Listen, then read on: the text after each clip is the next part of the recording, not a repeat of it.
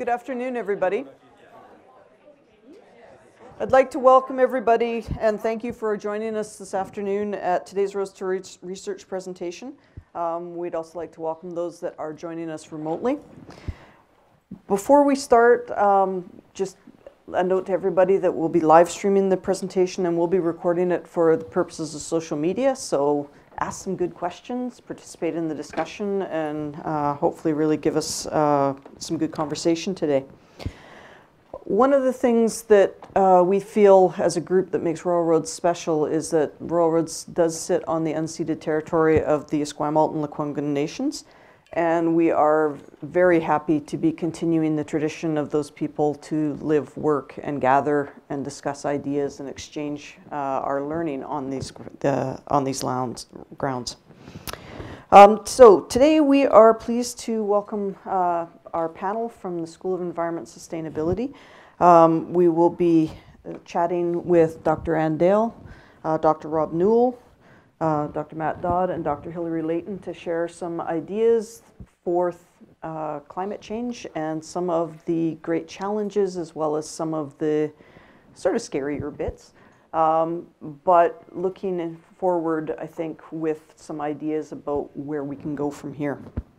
Um, our event this afternoon is sponsored by the Canadian Tri, uh, Tri-Agency Research Support Fund, um, and uh, they continue to provide all kinds of support to climate change research in Canada.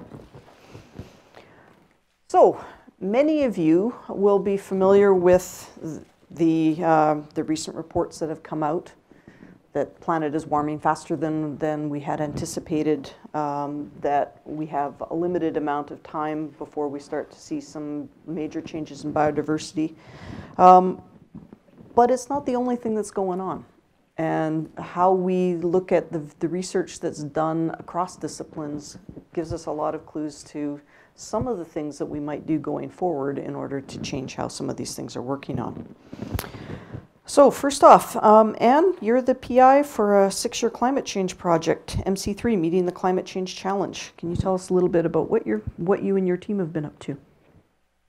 Uh, is this working? Yeah, it is working. Okay, and just before I comment on that, um, this is going to be interactive, isn't it, Dr. Noble? So it is. We will di- we'll be discussing between ourselves, but with you. So if you have questions in between, um, please do step up to the mic if you've got a question, and that way we can deal with uh, deal with folks.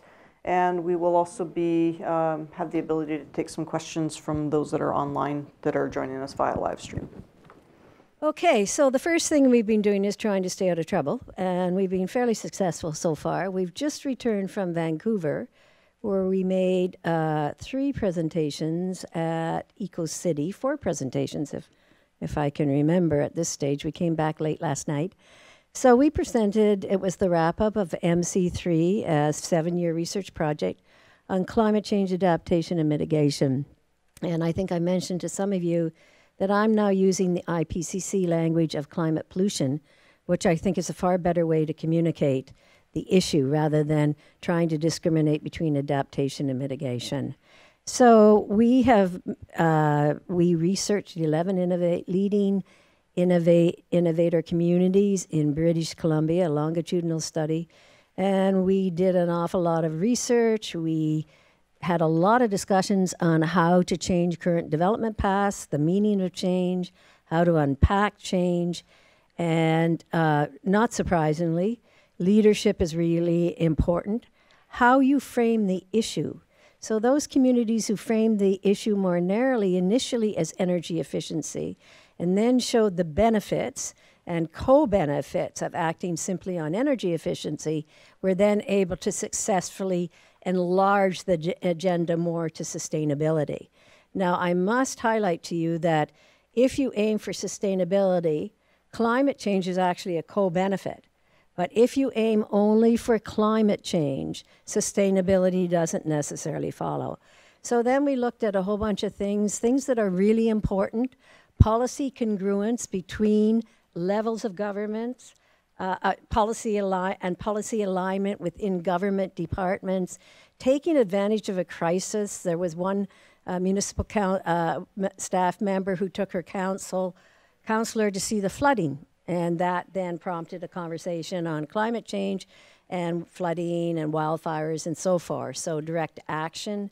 And then um, I, I, would like to highlight the importance of having standardized government policies, ins- instruments, and incentives, which help to propel BC forward. And then the last thing, because I'm taking up a lot of space here, dear moderator, is that it is really important to institutionalize and embed those changes you want, because um, in government departments, so that you can avoid swinging from left to right in an into highly polarized debate. For example, the carbon tax implementation here in BC, many academics argued that it should go into a general revenue pot in order to fund more climate change innovations and actions. But by giving it back to individuals, when we move to a more conservative administration, there's no way they could take the carbon tax back. What they did was delay the increases in it, but it was now embedded and successful. Thank you. Okay. So, to swing a little bit from that perspective, Matt, what's the big deal about the contaminants and are they getting worse and how is that related? So, um, thanks. Um, I work with uh, contaminants in the environment, uh, mostly looking at uh, persistent organic pollutants, which we call the legacy contaminants, and then metals.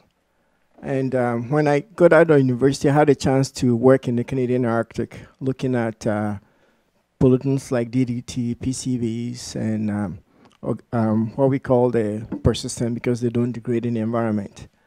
And eventually um, identified the fact, I work with a group of the uh, Northern Contaminants Working Group, identified the fact that these contaminants are moving into the Arctic ecosystems and affecting uh, human and environmental health. And eventually uh, led to the Montreal, not the Montreal Protocol, the Stockholm Convention of uh, Organic Pollutants, which led to the ban of these contaminants in the environment. And because of some of these international pollutants, the short answer to the question is the levels of these contaminants in the Canadian Arctic are going down. And not only that, if you look at the Great Lakes and all around the world, the levels of these uh, pollutants are, are diminishing. And so that's the good news in the fact that uh, back then when we identified all these pollutants, um, policies were set in place and led to the reduction of these contaminants in the environment. And apart from the international uh, conventions, we also have improvement in environmental regulations and legislations which have led to the decrease of these uh, contaminants in the environment.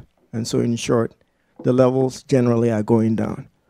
And um, maybe later on we can tie into what's happening in terms of climate change and impacts. I don't know whether I can continue on that trend or but to use an example in terms of the impact, um, one of the sites that I worked at, uh, it was an old shell exploration site.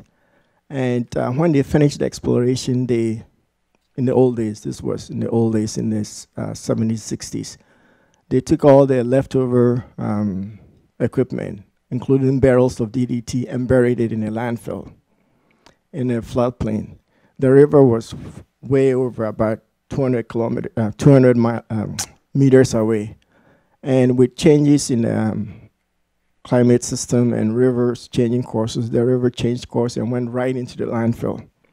And so in the end, we had to uh, go and assess and remediate the site, remove all the barrels that were that uh, that were buried in the in a site which at the time they thought was a safe place. So with the changing dynamics in the climate and frequent impacts on flooding and things like that, we see um, contaminants being released into the environment. And so although the levels are changing, there are instances where we've got impacts because of these climate changes impacting the sites that we've been looking at. Okay. Rob, can you tell us a little bit about what your research has been dealing with with the MC3 group? Sure. Um, mentioned uh, co-benefits. This is uh, climate action co-benefits. Uh, the, these are things that I've been focusing on um, a fair bit in the research, and I think it's worthwhile just talking about what these are. Um, probably a lot of people saw this comic that was um, uh, put out uh, about a decade ago from Joel Pett, where there's this conference, uh, a presentation where a person was presenting on all the benefits of climate action, looking at you know green space, healthy air, uh, healthy water, green jobs, and then there's this person in the crowd that was saying, um, "What happens if this climate change thing all turns out to be a hoax and we made the world a better place for no reason?" Right? So in a nutshell, it actually that really captures what co-benefits are about. Um, they're really the community or societal benefits that come from climate action that extend beyond adaptation or mitigation. So uh, the example I like to use because it really resonates with a lot of people. You make a community more walkable, um, then you are taking well theoretically you're taking cars off the road so you're reducing emissions in that way. It's a good mitigation strategy. Same time too you have more people walking so you have a healthier community. Um, if you integrate these pedestrian trails within green space you can also do wonderful things for mental health. There might be areas you can put in for social interaction. Really when it's what it comes down to is you can actually do climate action without even saying you're doing climate action. It's just kind of a, a way of looking at climate action in a more um, uh, holistic sense. So you can do climate action and achieve multiple sustainability goals, multiple, multiple social, economic, and environmental goals. Co-benefits kind of seem like win-win situations. So in some ways, it's almost like, well, why aren't we always doing these strategies? But it's not always the case a lot of these do actually have trade-offs to them too. Um, if you densify a city, sure that it could do great things as far as making things more efficient for transportation and building energy. Same time too, what happens is you might get uh, much taller buildings that affects people's sense of place, the character of place. So the reasons why people live and love their community. So that can be a significant trade-off. Now, to better understand then how we can maximize these co-benefits and uh, also recognize and address these trade-offs, the project that we worked on was a climate action co-benefits modeling thing where we ended up mapping the relationships between climate action strategies, benefits, um, and also those trade-offs and challenges. And these created these maps that or what we're arguing um, can be used as tools for integrated planning, people planning in a more integrated sense, understanding how climate action is a piece of this larger, really important puzzle, but also it is a very in integral piece of this puzzle. And a lot of the other things you want to achieve about uh, healthy communities, uh, local green space, they're very tightly related to climate action. So that's kind of one of the things that we worked on. We did have a lunch and learn session with uh, the city of Vancouver, and it seemed like these can be used as tools just for thinking about the advantages and disadvantages of uh, doing different climate action strategies. Okay, I just want to add, and another co-benefit of getting more people out walking is you get more people meeting each other, right? So you get enhanced social capital. So as many of you know, Putnam, Putnam asked in 2001, do you want more police or do you want more people knowing their neighbors? And another great way to meet people is walking your dog as well. Let's hang on to that. Okay, so building on, on that sort of social capital piece a little bit, Hilary, would you like to tell us how eco psychology fits in this puzzle Thanks. as well? Is this on? Yes. Well, um, in 1993, Neil Evernden said, It isn't an environmental crisis, we are the environmental crisis. And as an ecopsychologist, how I see climate pollution is I see it first as something that's that I am, that I'm part of the climate pollution problem, that possibly my inner life is somewhat polluted, or my perceptions of myself in relationship to the world is somewhat muddied.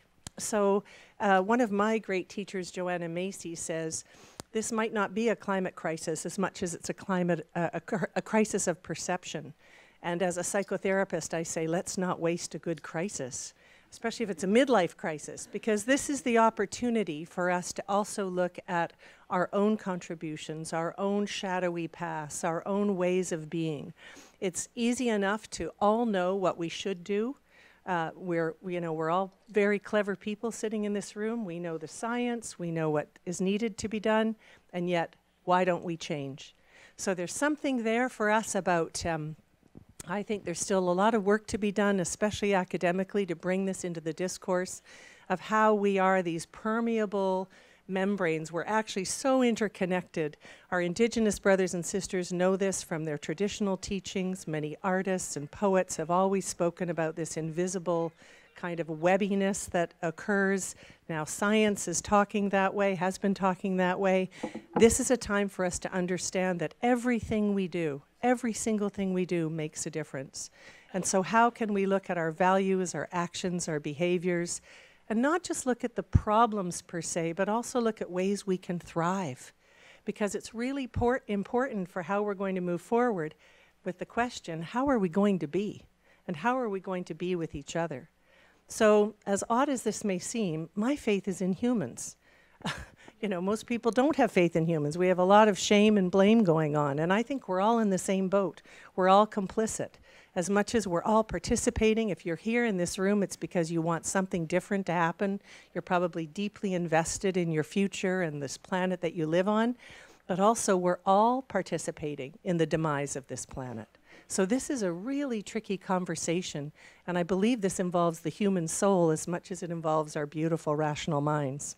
So, I'm interested in bringing soul back into the discourse, and sometimes that's through art and art space learning. It's also through uh, nature based connections and practices that we may have forgotten that feel very uh, natural, pun intended, and human uh, when we engage in them. So, it's uh, really bringing our learning and teaching model to life through experiential learning and really pushing the edges of um, academia a bit.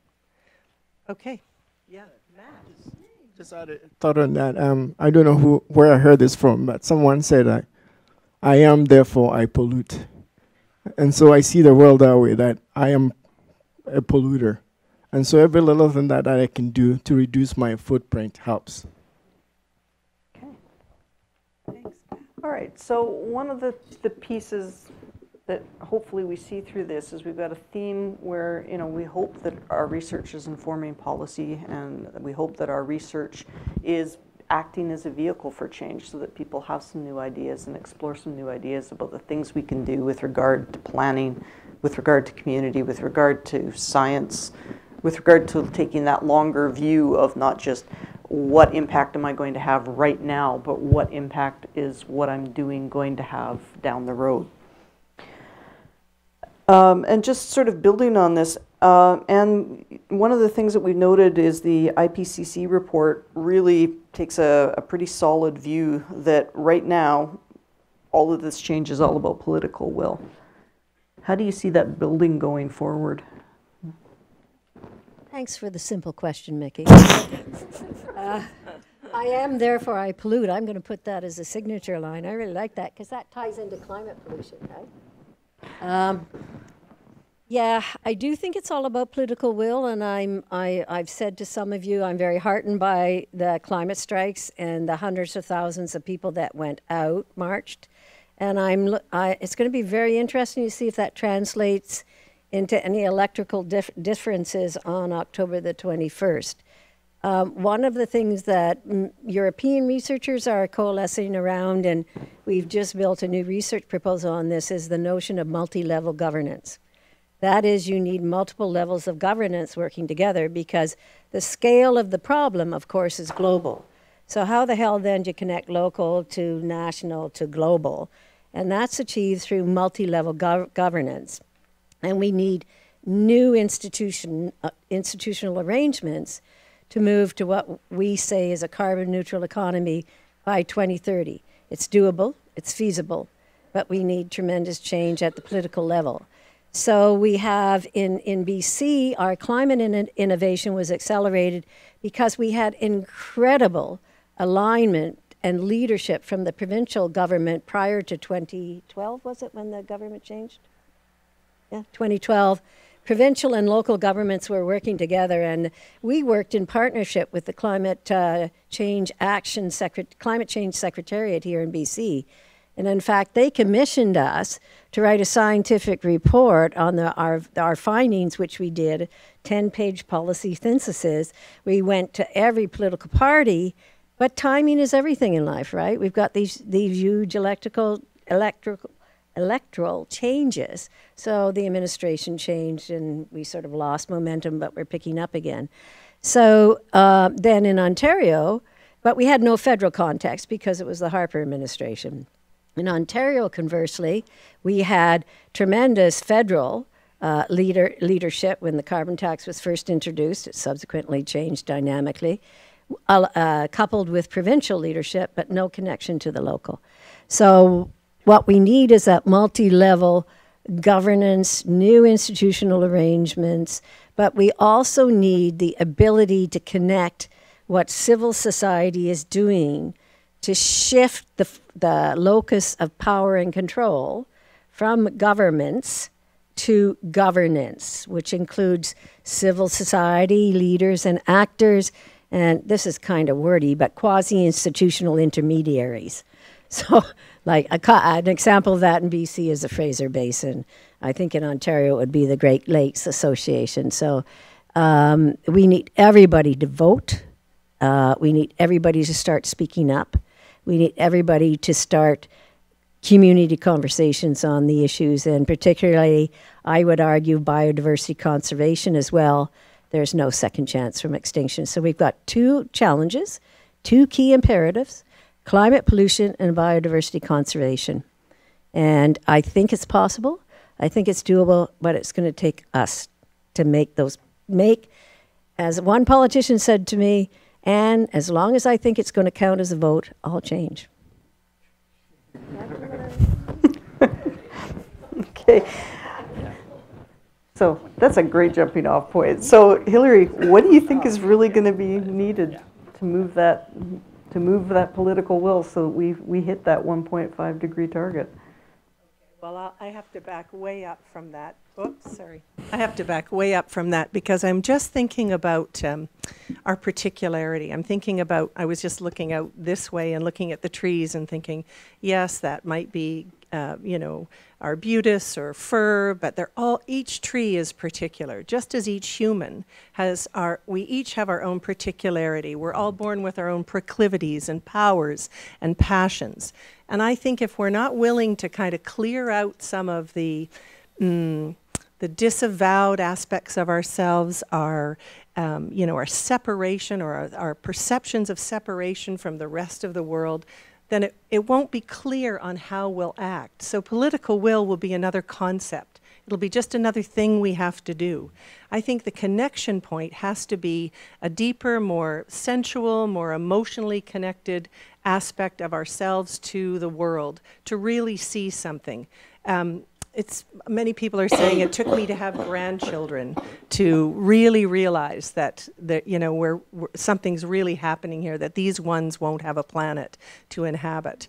I think there has to be um, for each one of us a deeper connection to how we're to serve contribute participate in this world uh, as members of this world rather than as apart from, but as part of.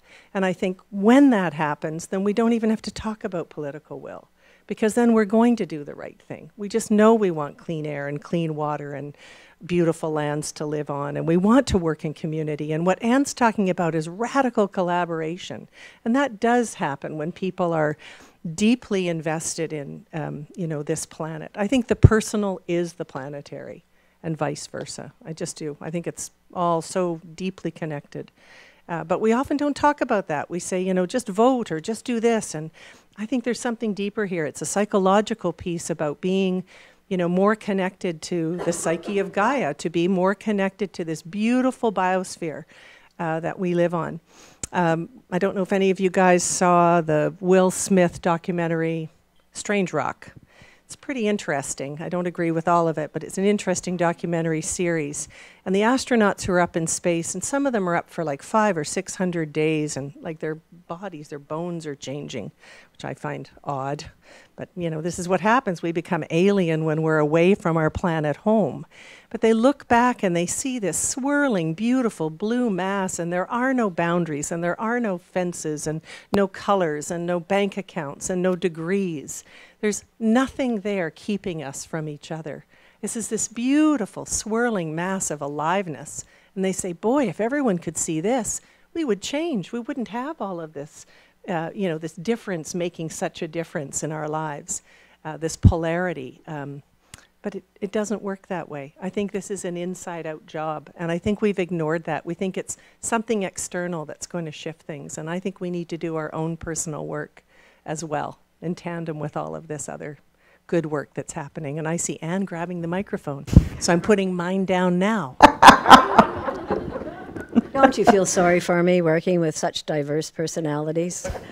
What I, I, I, you know, this sort of personal, touchy feely stuff. I don't mean to minimize what Hilary's saying. I think it's really important that being in touch with the personal. But what I wanted to add to that, I don't know if you agree. We, I think we all come from blaming and shaming and connecting to political will. So if you look at the attention in the recent uh, electoral discussion on Trudeau's blackface, it was the media attention on that to me was mind blogging, bogging because it gets to that you know script we're all sort of used to blaming and shaming. You know alberta's this bc's so much better. That's all crap. That's all designed i think to keep us mired in inaction and in the old stories when you've got the twin imperatives that we are talking about today i mean yeah sure devote maybe a day to blackface and then let's move on. And where's the substantive discussion? Where is this is an opportunity for us as Canadians to talk about what's important for us and how much political time is being spent for that on that? Very very very little. So we might also want to turn our attention to media. So i think that that connection between the personal and the political and as you were saying hilary the the natural world you know i i this is going to sound really hokey and i've said this to some of you after it rains and you're rushing to a meeting uh, and there's a worm wriggling still semi alive on the pavement. Well, when I take the time to move the worm over to the grass, I get empowered. When I step on it, I lose something. Okay.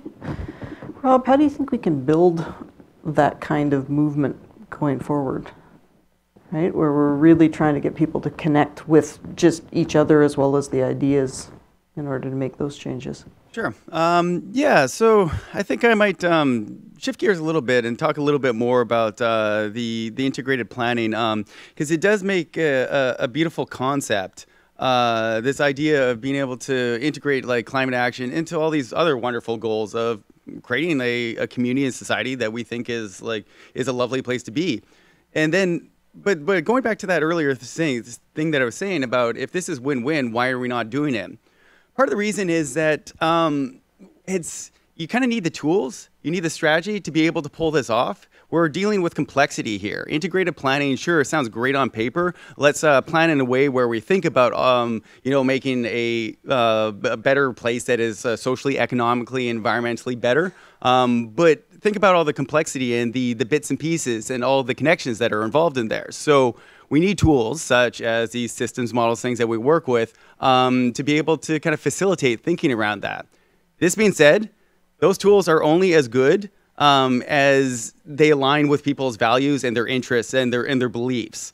A lot of the research that I try and do is trying to um, bring people in right at the beginning, making these processes participatory right at the beginning to design these tools. It's very tempting for a researcher just to go ahead and create a systems model that could be quite useful for saying, hey, if we develop this way, this is what it means for threats to habitat, um, access to amenities, for local employment, so forth. Um, but ultimately, the uh, the stuff that we're trying to do is uh, these processes is trying to make it right at the beginning have these discussions with the community and say what do you actually want to see in these models? What are likely futures that you want to explore what are like different community development scenarios. So there definitely is potential for using these tools, but I think uh, it's important for us to kind of step back and not uh, stop thinking of ourselves as just the experts. The knowledge experts are the people that are affected by these places. And if you want to make it relevant and useful and something that people actually want to use, then you do have to kind of involve them into the research process right at the beginning. So that systems model is one thing I work with. I also work with visualizations, make these tools that uh, you talk to people and say, what do you actually want to see in these sort of visualizations? What are the types of things you want to explore with it? And so I think that's kind of maybe one way of being able to bridge that, uh, that these ideas to practice. Yeah. Can I jump in here a little bit yeah. for a moment? Thanks. Can I add a question at your end then? Sure. Hilary, you're an expert in convening people. So can you give us some tips about, uh, tell us about that, please? After sure. you finish. Yeah, sure. Uh, what I was just thinking about, Rob, when you were just talking about um, you know, what a beautiful thing to get a community together, to bring in, you know, as Ann would say, all the unusual suspects and, you know, just bring in all the voices at the table because there's such richness there. And that's part of the convening and that we enjoyed. We all enjoyed this in the MEM program, the open space last Friday. It was content generated by students with really rich, diverse topics. But, and, not but, Um, Rob, I was just thinking, you know, what we're missing often at the table when we have the community discussion, and this might, you know, sound to some a little bit too far far out, and so I'll push the edges. Who's there to speak for the trees? Who's there to speak for the squirrels? Who's there to speak for the rivers? I mean, now we're starting to see the beautiful benefits of David Boyd's work from UBC, The Rights of Nature, as he's worked tirelessly with a team of, um, you know, legal experts and lawyers to, um, you know, help uh, different countries denote personhood to rivers and parks and lakes so that these ones can actually show, show up at the table represented by often traditional peoples who see themselves so deeply connected with a river or a lake uh, you know, um, or uh, you know, a forest that they can't imagine themselves living without it because they're not just like the river; they are river. They have watershed thinking, watershed mentality. And so when we're convening these spaces, we often are very human centric. And so we can have best ideas, but inadvertently we're missing something if we're not including the rest of the world. I don't know how to do that. So, I mean, it sounds a little bit crazy, but I think that's sometimes what we're missing. And I'll just use a quick example of our beautiful institute here. We can be sitting at the table and be smart as whips and get some great ideas, but where are the students? And, you know, that's an obvious, but we can forget sometimes, or where is the land, or where are the first peoples that were here? We don't often invite them to the conversation. So I wonder how we can be better as conveners, better um, as inviters, you know, to bring more participation rather than what ends up is well meaning manipulation. We get what we want, but yet we haven't had full participation. I don't know. I'm just riffing on. No, that. I mean, I'd, and I'd love to actually respond to that because um, I'd also add too um, that sure, I mean, I do actually organize a lot of uh, community focus groups, invite people to the table, but is everyone actually there to speak for themselves? Well, no. I mean, in any group focus group that I put together, any meeting that I put together, not everyone is going to be able to show up to the table. They might be busy, or they might just not even feel fully comfortable with the project or whatever I'm doing at the first time. So what does that mean? It means that uh, if I want my tools to be participatory, if I want these things to be um, really inclusive of community ideas and values, you kind of have to make them flexible and understand that these are iterative processes. They evolve. So working with like systems models, working with visualizations, um, and like any other sort of planning tools, they have they need to be things that you can design in there that they're flexible. You can update them, you can add to them as more people get the opportunity to speak and get their ideas and their values in, making them as like living, uh, developing tools that you know over the time span more and more they'll actually represent uh, the relevant uh, the needs and values actually a better representation of the community and also all the kind of biotic factors of the community too how deliciously messy. So Yeah, i'll answer great. Ann's question about convening and just say yeah if we can imagine spaces that are open open enough for all voices for all to be represented and to sometimes read for the absences. Like who is not in this room? You know there's an onus on all of us sitting at a table making decisions to look around and say who is not here? And what is missing? Just to kind of um, create those um, you know those and, and have many times we get together because you're right that's where we get these rich layers of people sometimes it takes people a little bit of courage to show up and hear that something was not scary and that their voice was needed at the table did i answer your convening question Ann or Yes, yes, you did. Uh, thank you, Hilary. And I, I just want to add um, an experiment we did with the MC3. So we were deeply committed to communicating our research uh, findings. And I'd like to acknowledge that another member of our team who is here, Francois Jost, uh, postdoctoral fellow working with us as well, but we wanted to sort of highlight the school, so that's why he's not up here. So we um, got together the research team with uh, political leaders. Uh, we did six of them and they were virtual, a private space, you know, because adults, research shows adults learn most from their peers, and they want safe places because you don't want to appear stupid as an adult. Quite often, we don't admit to not understanding something, so we'll put the file to the side until we can get to it later. So we brought the research team together, many of whom were very, very experienced and articulate from other universities, with elected officials in these private um, luncheon meetings, and we, you know, as a little treat offered to buy their lunch after afterwards. Um, tremendously successful, and we got a little bit more sophisticated because then we took the political leader who was leading innovator in those conversations and then brought them into the second one, into the third, into the fourth, into the fifth. Uh, we don't have hard evidence, but we have antidote. I can never pronounce that. Anecdotal. Anecdotal, thank you, colleagues.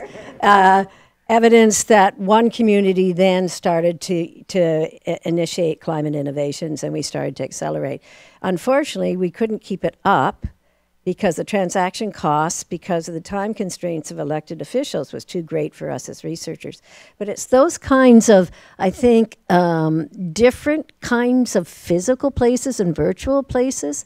But if we don't start the conversation, if we have no space for the conversations from the from the media, from elected officials, from shrinking down CBC, Well, I'll just go back to, is Craig Axford here from MEM? No. Well, uh, what I learned from Craig uh, when I was talking to him at the poster presentation, uh, and what I was just reminded of is the way he's uh, performing his research is to go into traditional people's territories and listen, to first listen. I think we're often so keen on getting our questions answered that if we can also show up in spaces that are open enough to allow us to listen first and start to hear some of what's going on before we meet our agenda, that sometimes that can even change our agenda or change our questions. And I want to be still willing to be changed. I have lots of opinions and lots of ideas, and I, I also want to be able to be humble uh, in a situation where I'm with a lot of other people and be willing to be changed. Uh, by what I hear and what I witness. So I, I think we need to convene spaces that are also sensitive to the different ways that people converse and communicate and maybe share their knowledge. So um, I think we have a bit of work to do there too in communication. Theo Takash is in the house. Sure, of course. We're delighted. We're I'm tired of listening to each other. Come to the mic so you can be heard. No, just set it down gently. So uh, my name's Shoaib. I'm from the third year MEM program. I was just gonna like when you guys were talking about communication and how to get the the message across, right? Like our our class watched um, the leaders debate together um, a few days ago, right? And one of the things that I think stuck out was that like how do you answer these complex questions about you know uh, in 45 second you know, uh, uh, in 45 seconds, right? So it seems like the debate now, like you know, we've elected, and this kind of touches on a few things that you were talking about, like like Ann was talking about how getting different levels of government to work together um, to to address these issues. But the challenge seems to be like right now in reality in Canada is that you have you'll have one level of government that's completely offside, right? And people are electing these governments, which is which is interesting. Right? Like I'm from Calgary, we just elected a government that you know declared that job number one was going to be to, to eliminate the carbon tax, the job-killing carbon tax. Um, Ontario as well, they eliminated the cap and trade system. Um,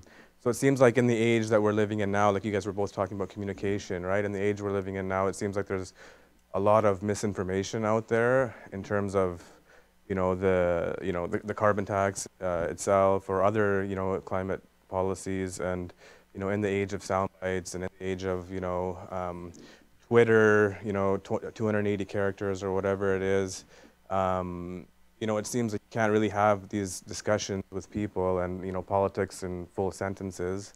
Um, so like what do you guys think in terms of uh, how to get that dialogue and actually have a meaningful conversations and to actually you know, further the conversation with, with facts, not just, you know, sound bites. Okay. Um, Wants to take that one? Matt, you want to maybe start with some of the, the challenges with communicating some of the science content when we're trying to get some of these conversations going? And I, and I think um, one of the challenges, as you mentioned, is letting people know um, in terms of the content what is true and what is not. And uh, usually, personally, I find that begins at a grassroots level.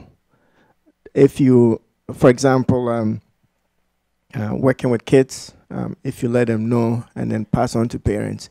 And I brought this up because uh, we've been doing some work in um, Ghana, and one of the biggest issues in some of these countries are plastic pollution. People, adults, eating, throwing plastics around, and so as the kids uh, learn not to do it, they pass on information to the adults, and then the adults pass it on. So my take is beginning at the grassroots levels, and um, and one of the other things I like doing is trying to explain the science to grandma. So if you can explain your point to grandma, it's a good starting point. Because if my grandma, who didn't know a lot of the science, one uh, can understand it, then it makes it more um, accessible. So basically, um, my take is at the grassroots levels because high up, um, people don't usually don't listen. But if you start at the grassroots level and then filter up the chain.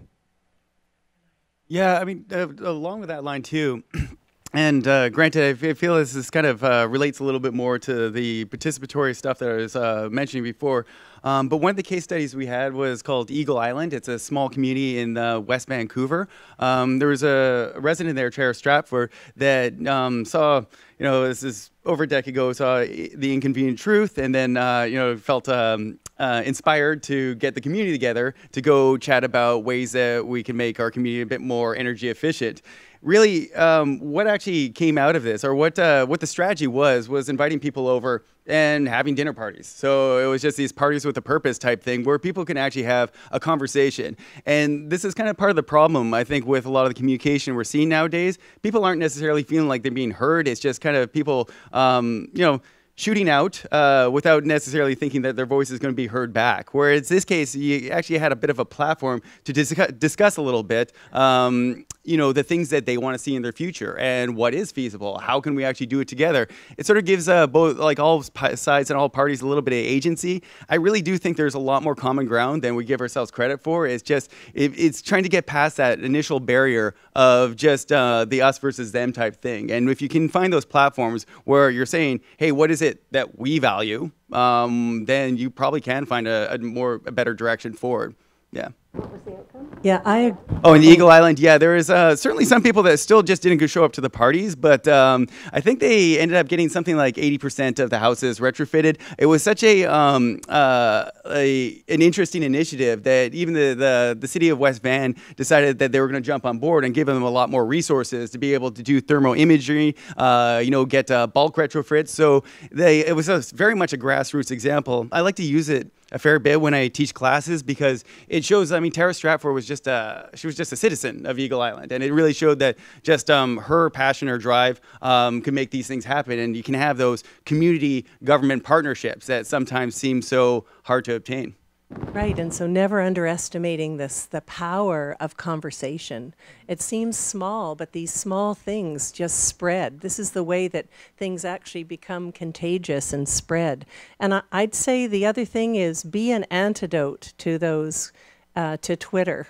Be an antidote you know have a conversation with people. We feed this machine. It's not you know it's not some monster out there that's just you know happening. We all feed this by subscribing by contributing to it by not stopping ourselves because it's addictive and actually having, you know, convening a discussion and, you know, getting folks together and starting to ask some of these really important critical questions. If you're wrestling with something in your own inner dialogue, it's likely there's a whole bunch of other people that are working on, you know, having that work them too. And so I think what we're failing to do is remind ourselves that even something like the kitchen table, like you're talking about with dinner parties, those are the greatest conversations that can happen in a family when we learn from each other. And we're kind of missing that convening of simply sharing a meal together and um, seeing what comes up, you know. And slowing down a little. No, there's a question over there. I much prefer. Yeah, not really. Oh, Robin, welcome. Um, thanks. Uh, I was just thinking uh, Robin um, Cox from uh, Disaster Emergency Management Program here.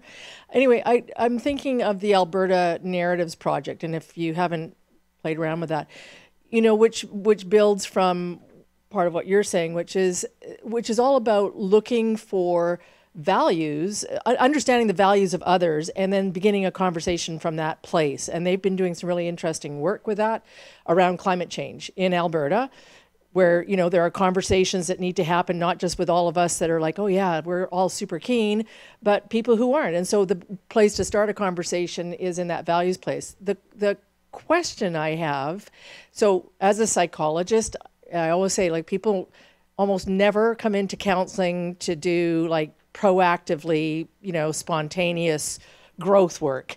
Uh, probably Hilary does, but you know, you know, most people don't. And so, you know, people come into counseling because something's, you know, crashing in on them and they're looking for a way to address it. And I think particularly for us in, in North America and other parts of the world that have been and continue to be privileged uh, to not experience. I mean, we're experiencing climate change, but it's not in our face in the same way it is in, in lots of other parts of the world. So, how do we make it real to people? Because people, uh, and a, a, study in BC recently, and I, you probably know more about it than I do, but you know, was talking about the barriers to climate action, self-efficacy, feeling like you can make a difference, values alignment, um, you know, having something concrete to do, so even knowing what to do in that place, um, and so.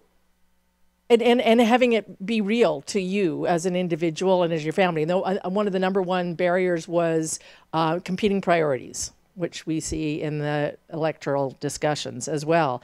So somehow we have to figure out a way of making this very real to people that where it's not that real. Yes, it's climate change and we see kids, you know, you know, you might be impressed by the strikes, but that doesn't necessarily translate into action and in fact it often doesn't. The research shows. So how do we make this real?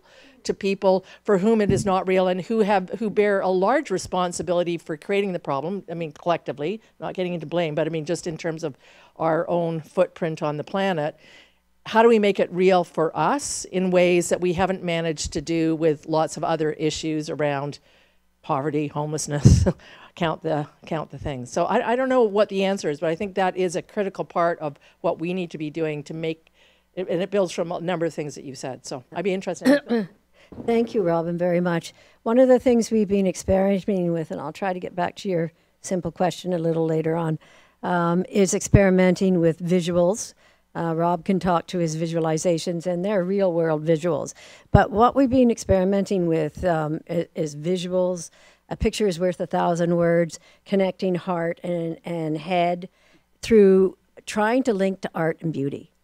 I mean, it, there's nothing more beautiful than that. And somehow you can use that to get to both people's heart as well as their head, because then that, that leads to greater action than if you're just appealing intellectually.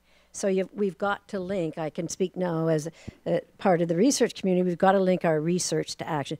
One of the things we started to do, and we've been successful with our website now reaching 25 to 35, uh, 35 year olds, is to you never bring up a problem without a solution. So that then, and there's so much happening. There's so many innovations. I, I mean, there's just, uh, and then, then, there's so much myth, misinformation out there. I just learned from some younger colleagues of mine who are doing energy efficiency and greenhouse gas reduction mo- uh, modeling across the country. You know who's leading the way in, the, in 15 cities across this country? Edmonton. That's not our image of Alberta, right? Or Alberta is really dragging us all down, et cetera, et cetera. So there's all this good stuff happening on the ground, and it's just not seeing the light of day. And so we've got to become better communicators through the language we use, how we communicate, where we communicate, and when we communicate. And to make our research policy relevant, which means being able to as well communicate in language that policymakers and decision makers will understand. So that's not using post postmodernism, which is one of the sort of theoretical constructs we have. But we've really got to concentrate on how we as researchers can move people in the community to action. I'm just going to add a little bit here because I do want to uh, talk with you, Robin, a bit, address a little bit of what you've said, and it's uh, usually the most displeasing thing that I do say because I know I look all happy and joyful, but uh, and I have a real affinity for darkness. Uh, you know, I love this season where the shadows are lengthening and darkness comes early and stays late. But in terms of psychology, I like the darkness because I think that's the place things are born and gestate. I think we have done a poor job of allowing ourselves uh, to see grief and despair as a competency a human competency, not a pathology, but in effect, it's our it's an indicator of how much we love this place, how much we love to be a part of planet. And I think that even though things aren't in our face, our waters aren't rising here noticeably, and you know we're not having, strangely, in this bubble, we don't have you know extreme weather events yet. Um, I would say that uh, if we were given our, if we give ourselves enough time and the kind of um, invitations to feel into, uh, you know, our humanness and what's going on, that there's not one person in this room who isn't suffering from some despair right now, some grief about what's going on in the planet. And I think that is an entry point. That is a, an entry point for discussion, for learning how to bring our emotional selves with our beautiful rational minds in a more conciliatory way of learning because we've for too long lopsidedly favored uh, you know the hegemon of the mind and we, we can't think our way out of this. We need to also bring our feelings that because that's what's going to activate us. That's what motivates us to do something is when we're really moved, emoted to do something different. And I, and I, so I see grief as a competency. I, I think it should be something that's actually in our learning outcomes. And there are beautiful, elegant ways to be able to allow people to express their grief and their despair, starting with gratitude and presence in the face of difficulty. Because just like after a good cry, the scales fall from your eyes and you can actually see the world with new eyes and for a time feel actively hopeful. But this is a cyclical, uh, system of human nature, and we haven't allowed ourselves to go dark or collapse or to let go of old ways of being.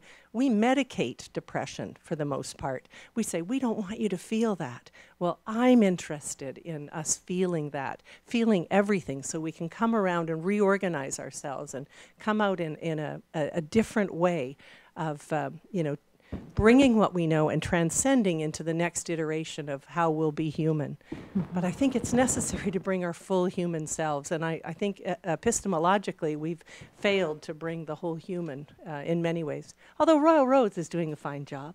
I would just Yeah. say for that, that I think in many ways climate change, if you want to extend the psychology anal, you know, analogy, is psycho- climate change is a symptom. We're, we're Exactly. perpetually addressing symptoms in our collective society culture.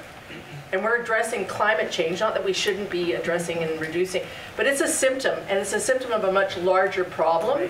And Perception. we're constantly going at the symptoms as though we're addressing the problem, and I don't think we are. What's the problem?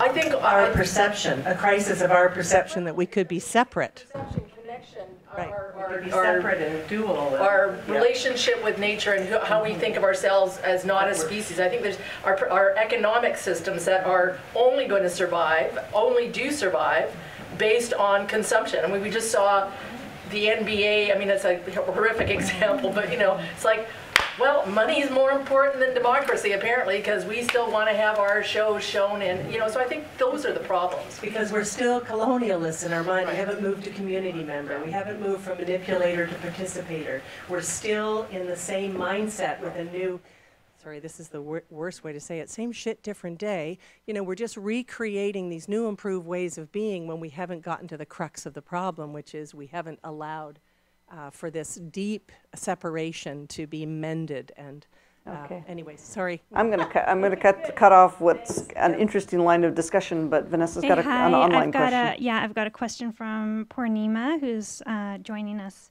via live stream. Um, she says, as academics, we ourselves contribute to the climate crisis. Our conferences, workshops, and seminars create a lot of climate change problems. Can we start by setting examples in academic tourism? Um, yeah, I'd, I'd love to jump into that one because um, I think this is uh, something that, um, you know, I mean, I, I feel very conflicted. We, we tackle a fair bit, but uh, it's true. I mean, as um, uh, academics, we contribute to it, but at the same time, too, we also have the space to be able to figure out different ways of doing conferences and workshops. There is a value to have this face-to-face uh, meeting. Uh, same time, too, we have a lot of tools to be able to connect people quite well virtually. So um, what we've done a couple times for one a, um, uh, a workshop that we did around this idea of rethinking what growth and progress means. Um, we have these. Uh, we we did it in kind of a node style where we'd have partner communities uh, in various cities across Canada, and there was one in the United States. Um, they would have their own sort of discussion roundtables. Uh, we'd have a discussion in this room here, and then we'd meet once again through Blue Jeans. So there was this sort of like interesting face-to-face and virtual dynamic and we did it again for our climate change uh, um, our recent like climate change workshop as well. So it's it's the idea of saying that let's just not experiment with the ideas but experiment with ways of doing it and actually just see um, how they work um, how we can actually move away from carbon intensive uh, ways of interacting. I mean we are researchers so this can be part of our research uh, um, agenda and our focus yeah, I think one of our failures too is we haven't we haven't developed what are the new stories, what are the new narratives, because we are we get our purpose and meaning through the stories we tell ourselves and we tell each other, um, and some of those new stories, and also telling those stories in provocative ways. If people can't see uh, the ways forward, then we're never going to move forward. So we've been blogging and arguing extensively that what we need in this country to move from where we are now to a carbon neutral economy by 2030 our, a high level task force that develops transition strategies to show Canadians what the various scenarios are. That's the reason why, and there are important critical uh, policy, public policy questions to be asked. Exactly how much oil and gas do we still need in order to heat our homes till we move to the carbon neutral economy? Um, how, what about stranded assets? What, how do we not leave any one province uh, behind? All of these questions we can answer, but we haven't begun the critical conversations, nor are we asking the hard questions. Let's bring the elephant into the room. Got one last question from the online uh, audience from Runa Das. Do individuals have a place in multi level governance models or governance more generally speaking?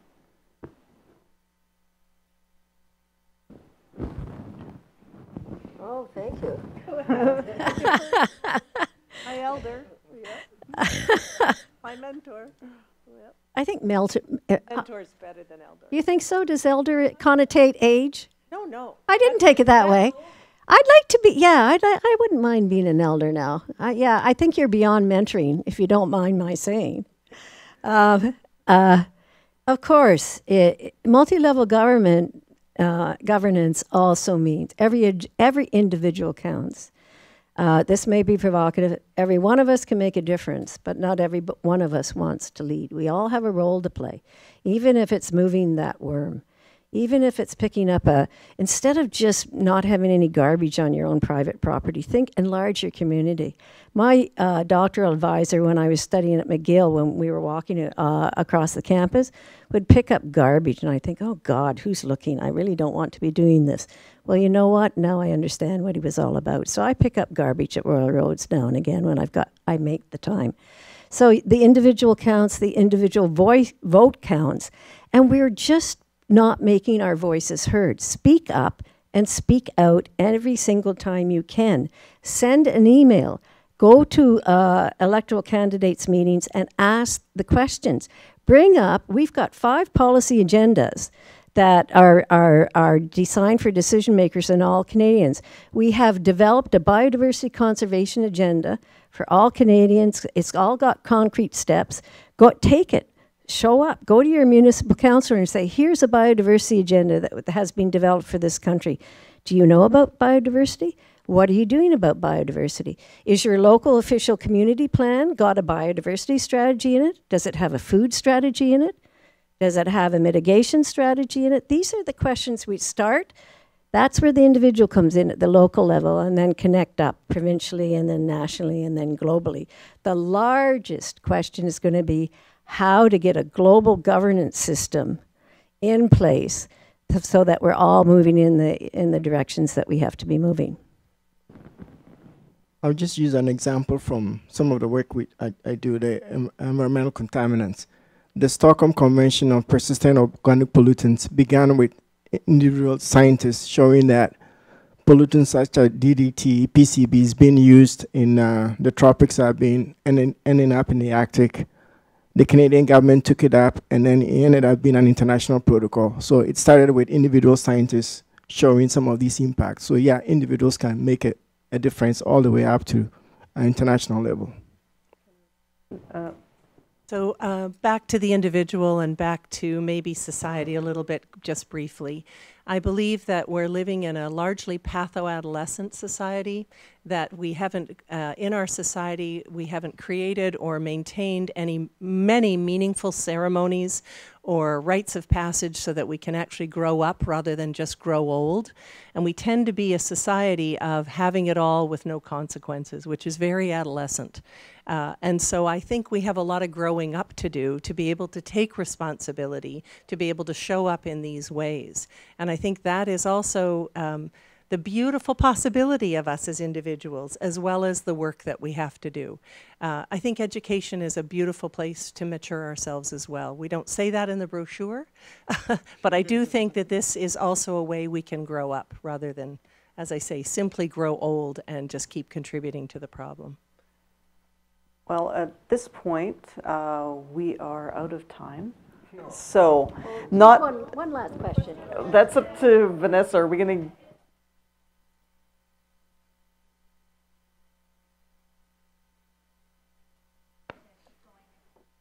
Sure. Okay. Thank you. Um, I'll put this question to the panel, including yourself, Dr. Noble, and actually everyone else in the room.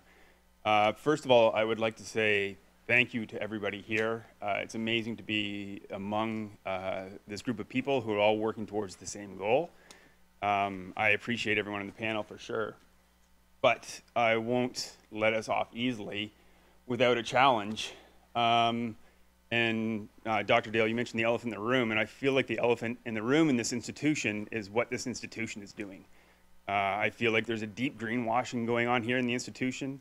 I know within my program itself, Uh, uh, uh, faculty have been burnt out by the pushback and by the resistance from the institution overall. So I would challenge this program and the staff and faculty here to really turn this institution around and stop talking about the externalities, stop talking about the Arctic and what's happening down in Brazil. It's like right here underneath our feet, we have this opportunity and we're not taking advantage of it. Um, so I would put that question out to you five actually on, on what you would like to see change in the institution and how you would go about making those changes. Anybody want to start? Okay, I'm going in. Because I have to leave soon anyways. Bone density test, age. Um, you know, Kelly, um, I think we all come with partial knowledge. I think it's easy to grab on to things and say, well, this is the way it is at Royal Roads. I would have a different perspective than you would have as a student. I've been here for 14 years. I've worked in you know, started continuing studies and then moved into the faculty side of the house. I have a, a lot of uh, depth here, but I also only have a partial story. I see mostly positive things going on here. I see lots of room for improvement always. Uh, I take a lot of that as res- I'm responsible for as a person. Uh, we had a beautiful uh, day uh, where our president declared that we are part of the climate emergency. I mean, that in itself is a, a statement that is not, uh, you know, simple lip service. We are activated now to work on these, uh, you know, areas that are around transportation and around education. And I want to start a production farm here at Royal Roads. And for the first time in my history, I feel like it's possible. So I think we're all working on the, in the small ways we can. And institutionally, we still have to grow up. We're in our 20s. You know, we have a lot of things that we're still wrestling with, but thank goodness we're wrestling with them. I want to be part of this place that, while not perfect, we're interested in, you know, turning toward the things that we're that need our attention. And we do do that, as well as run the plane, you know, as fly the plane. We're running programs and doing a lot while we're changing the engine. So it's, it's tricky. Uh, it's easy to say, you know, what are you going to do about it? I think we are always doing things about it, and sometimes we do better than other times. But uh, I don't think anyone's being complacent uh, here and now. I, I don't see people sitting with their feet up, smoking big cigars and wearing fezzes, you know, hanging out in their office with a pet monkey. You know, we're all very busy, and we're all concerned whether we're going to get this right or not. I think we're going to get it, but whether it's right or not, you know, we're just we're in the thick of it. And So I think I think we're, if I could just uh, add here, as uh, director, the new director of the school, uh, I think we've never been in a better position. We are in a state of flux. We are in a considerable period of change. We have a new president who I think is a very decent human being and who's deeply committed to reconciliation in the full sense of the word. Word. We have a beautiful new building. I encourage you to come to the Sherman Jen building. And I, I, as a school, I, I don't think we're burnt out and frustrated. And I, any of my professorial colleagues, we've never been as together or as collegial. There, there are major changes occurring in the MEM program and changes threatening to people. There will be some changes made, but uh, I think there's never been such a wonderful opportunity as we have now. Are our operations as sustainable as they could be? No, but we're working hard towards it as a, as a school and both as a university. Uh, it's just, uh, and it's one of the most beautiful campuses in the country to be, be privileged enough to work and study with. So, yeah, I'm, I'm pretty confident. So I'm a bit surprised, Kelly, by what you were saying. So, It's your research, isn't it, Kelly? yeah, It is, anyway. isn't it? Come on, admit it. It's what you want to write your thesis on, right? Come on. Okay. Um, Sorry. Well, I guess maybe to use a specific example then, what about fossil fuel investment? Or even. Oh, totally, or- totally agree with you. Go to the president. But that's, like, for one student to go to the president, like, where's, where's the faculty on pushing this? It's, or even the, the conference that was uh, six months ago for the universities that are tackling climate change. I didn't see Royal Roads list uh, of attendance on, on there. Like, why are we not, we have this fantastic program, this fa- fantastic faculty and students. Why are we not leading this charge in North America? We have declared ourselves to be a climate leader. I mean, your cohort could self organize and write to the president, and not in a blaming or shaming way, and say, "Have you cons- have you got a policy of fossil fuel dive- di- divestment?" And here are X number of universities who have divested. Uh, we can we work hard as a school within the university as a whole, but you know we're uh, we're a bureaucracy like other institutions. So to make substantial change, that's what governance is all about. It's pressure from the outside to the inside and coalescing at the same time, same place, space, and, and time, uh, pressure from the inside. So there's one thing that would be helpful. If you've got other suggestions like that, because the other thing that's so fascinating when you study systems, but you're living within the system, you all, all you sometimes and often forget the small steps that you can be making as well. You know, because because it's pretty hard to see your boxes and to lift the lid sometimes.